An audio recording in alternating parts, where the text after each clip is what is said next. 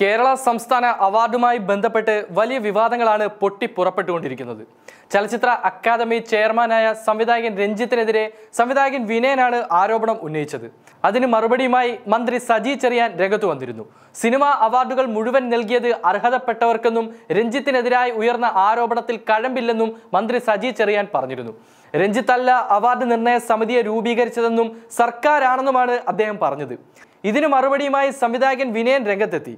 രഞ്ജിത്തിനെതിരെ ഉയർന്ന ആരോപണത്തിൽ രഞ്ജിത്ത് മറുപടി പറയട്ടെ എന്നും അതിനു മുമ്പ് മന്ത്രി ക്ലീൻ ചിറ്റ് നൽകിയത് എങ്ങനെയാണെന്നും വിനയൻ ചോദിച്ചു.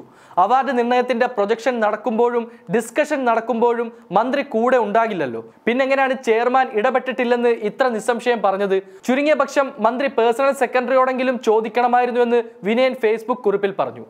മന്ത്രിയുടെ വാക്കുകളിലേക്ക് പോയാൽ അദ്ദേഹം പറഞ്ഞിരിക്കുന്നത് ഇങ്ങനെയാണ്.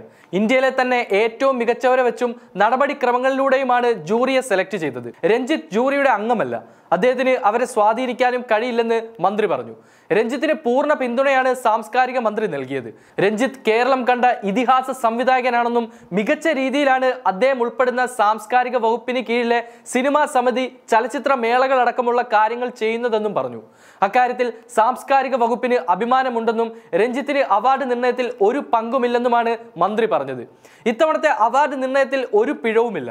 അവാർഡ് കിട്ടാത്ത ഒരാൾ മോശമാണെന്ന് താൻ പറയുകയില്ലെന്നും മാറ്റുരച്ചു നോക്കിയാണ് തങ്കം കണ്ടെത്തിയതെന്നും അദ്ദേഹം പറഞ്ഞു. ഒരാളും സംസ്ഥാന പുരസ്കാരത്തിന്റെ കാര്യത്തിൽ അഭിപ്രായ വ്യത്യാസം ഉയർത്തിയിട്ടില്ലെന്നും പറഞ്ഞു.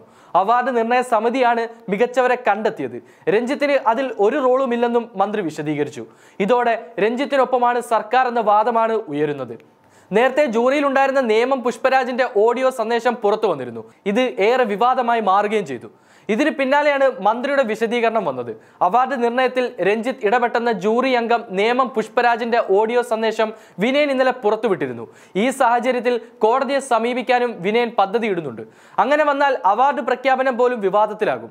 നേമം പുഷ്പരാജിന്റെ ശബ്ദരേഖയടക്കം കോടതിയിൽ ഹാജരാക്കാനാണ് ആലോചന. രണ്ടായിരത്തി ഇരുപത്തിരണ്ടിലെ സംസ്ഥാന ചലച്ചിത്ര അവാർഡുകൾ തീരുമാനിച്ച അന്തിമ ജൂറിയിലെ അംഗവും പ്രാഥമിക ജൂറി ചെയർമാനുമായിരുന്നു നേമം പുഷ്പരാജ്. സി പി എമ്മുമായി വളരെയധികം ബന്ധപ്പെട്ട് നിൽക്കുന്ന വ്യക്തി കൂടിയാണ് പുഷ്പരാജ്. നേമം പുഷ്പരാജിന്റെ ഓഡിയോ സന്ദേശമാണ് സംവിധായകൻ വിനയൻ പുറത്തുവിട്ടത്. പത്തൊമ്പതാം നൂറ്റാണ്ടെന്ന സിനിമയെ ജൂറി അംഗങ്ങൾ ബാഹ്യ സമ്മർദ്ദത്താൽ എതിർത്തെന്നാണ് ഓഡിയോ സന്ദേശത്തിൽ നേമം പുഷ്പരാജ് പറയുന്നത്. ചലച്ചിത്ര അക്കാദമി ചെയർമാൻ സ്ഥാനത്ത് തുടരാൻ രഞ്ജിത്ത് യോഗ്യനല്ലെന്നും ഓഡിയോ സന്ദേശത്തിലുണ്ട്. ഈ ഓഡിയോ എല്ലാ അർത്ഥത്തിലും രഞ്ജിത്തിനെതിരായിട്ടാണ് വന്നിരിക്കുന്നത്. അതിനിടെ രഞ്ജിത്ത് സ്വയം രാജിവെക്കുമെന്ന വിലയിരുത്തലും വരുന്നുണ്ട്. രഞ്ജിത്ത് രാജിവെച്ചില്ലെങ്കിൽ കോടതിയിൽ പോകുമെന്ന നിലപാടിലാണ് വിനയൻ. വിനയന്റെ ഫേസ്ബുക്ക് പോസ്റ്റ് ഇങ്ങനെയാണ് തുടങ്ങുന്നത്. സ്റ്റേറ്റ് സിനിമ അവാർഡ് ജൂറി അംഗം ശ്രീ നേമം പുഷ്പരാജ് പറഞ്ഞതും അതിൻ പ്രകാരം ഞാൻ ആരോപിച്ചതുമായ കാര്യങ്ങൾ തെള്ളിക്കളഞ്ഞുകൊണ്ട് ബഹുമാനപ്പെട്ട മന്ത്രി ശ്രീ സജി ചെറിയാൻ അക്കാദമി ചെയർമാൻ ശ്രീ രഞ്ജിത്തിന് ക്ലീൻ ചീറ്റ് കൊടുത്തതായി ന്യൂസിൽ കണ്ടു. ചെയർമാൻ ഒരിടപെടലും നടത്തിയിട്ടില്ലത്രേ. അങ്ങയോടല്ലല്ലോ ഞങ്ങളത് ചോദിച്ചത്. ശ്രീ രഞ്ജിത്തിനോടാണ്. രഞ്ജിത്ത് ഉത്തരം പറയട്ടെ.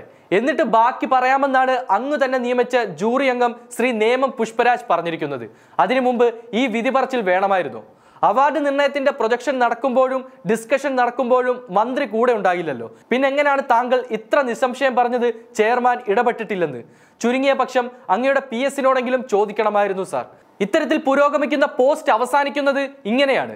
എന്തായാലും അക്കാദമി ചെയർമാൻ രഞ്ജിത്ത് പറയട്ടെ നിയമം പുഷ്പരാജിന്റെ ആരോപണത്തിലുള്ള മറുപടി.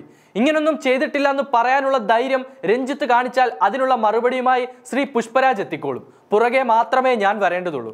അതിനു മുമ്പ് ആരും മുൻകൂർ ജാമ്യം കൊടുക്കാൻ കഷ്ടപ്പെടേണ്ടതില്ല എന്നാണ് എന്റെ അഭിപ്രായം.